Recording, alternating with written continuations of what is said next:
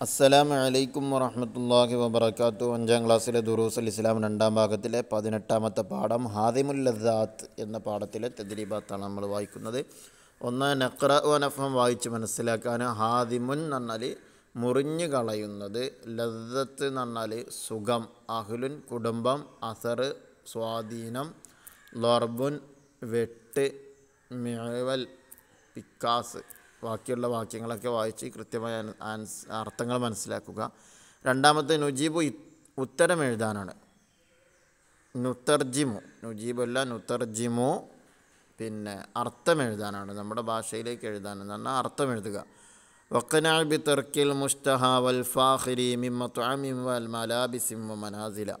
വീട് വസ്ത്രം ഭക്ഷണം മുതലായവയിൽ മികച്ചതും കൊതി കൊതിയുളവാക്കുന്നതും ഒഴിവാക്കി സംതൃപ്തനാവുക. രണ്ടാമത്തെ അമലും ബിലാദിക്കിരിൽ മനീയത്തില അസർ വബിദിക്കിരി ഹ ഹക്കൻ കലർബി മഹാവില. മരണത്തെ ഓർക്കാതെയുള്ള അമലുകൾ പ്രയോജനമുണ്ടാവുകയില്ല. മരണത്തെ ഓർത്തുകൊണ്ട് അമലുകൾ മരണത്തെ ഓർത്തുകൊണ്ടുള്ള അമലുകൾ പിക്കാസ് കൊണ്ട് വെട്ടുന്നത് പോലെയാണ്. ഇനി മൂന്നാമത്തെ നുഅരിബ് അറബിയിലാക്കാലാണ്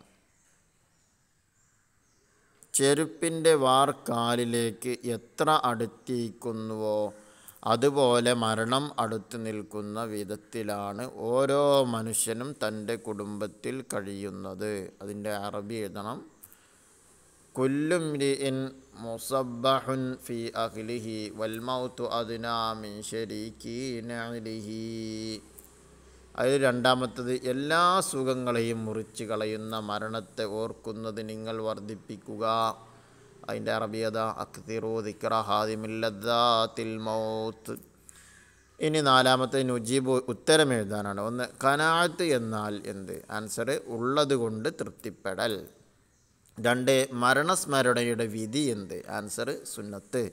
മൂന്നാമത്തെ മരണസ്മരണ കൊണ്ടുള്ള നേട്ടമെന്ത്? ആൻസർ നിസ്കാരത്തിൽ ഹുഷു വർദ്ധിപ്പിക്കും അസൂയയും അഹങ്കാരവും ഇല്ലാതാകും ദുന്യാവിനോടുള്ള അമിതമായ ആഗ്രഹം നീങ്ങും നീക്കും ഉള്ളതുകൊണ്ട് തൃപ്തിപ്പെട്ട് ജീവിക്കാനും ദുഃഖങ്ങളും ബുദ്ധിമുട്ടുകളുണ്ടാകുമ്പോൾ ക്ഷമ ക്ഷമിക്കാനും സഹായിക്കും.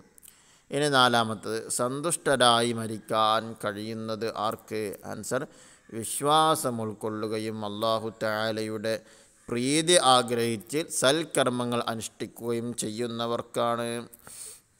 അഞ്ചാമത്തത് മരണത്തെ പേടിക്കേണ്ടതുണ്ടോ? ആൻസർ മരണത്തെ ഭയപ്പെടുകയല്ല ഓർക്കുകയാണ് വേണ്ടത്. ആറാമത്തത് ഖബർ ജീവിതത്തെക്കുറിച്ച് ഓർത്ത് എപ്പോഴും കരയാറുണ്ടായിരുന്നു ആര്? ആൻസർ ഉസ്മാൻ റളിയല്ലാഹു അൻഹു. അഞ്ചാമത്തെ നുഇദ് ഫിക്കറ ഒന്ന് ഇമാം ഗസാലി റളിയല്ലാഹുവിന്റെ വഫാത്ത്. ഗസാലി ഇമാമിന്റെ വഫാത്തിനെ കുറിച്ച് എഴുതാനാണ്.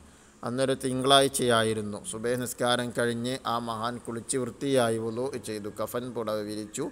അതിൽ കിബിലക്ക് അഭിമുഖമായി കിടന്നു. സ്വഹീഹുൽ ബുഖാരി എടുത്ത് നെഞ്ചത്ത് വെച്ചു. ഞാൻ എന്റെ റബ്ബിന്റെ ആജ്ഞ സ്വീകരിക്കുന്നു എന്ന് പറഞ്ഞുകൊണ്ട് സന്തോഷത്തോടെ വഫാത്തായി. ഹുജ്ജത്തുൽ ഇസ്ലാം ഇമാം ഖസാലി റലി അള്ളാഹു അനു ആയിരുന്നു ആ മഹാൻ. ഇത് നമ്മുടെ പാഠത്തിന്റെ തുടക്ക ഭാഗത്തിൽ തന്നെ പറയുന്നുണ്ട്. രണ്ട് മരണസ്മരണ ഇല്ലാത്തതിന്റെ കോട്ടങ്ങൾ എന്തെല്ലാം? ആൻസർ ദുരാഗ്രഹം ഹലാലും ഹറാമും പരിഗണിക്കാതെ പണം സമ്പാദിക്കും ആർത്തിയും ദൂർത്തും പിശുക്കും കാട്ടി ജീവിക്കാനുള്ള താല്പര്യം ഇതൊക്കെ വർദ്ധിക്കും.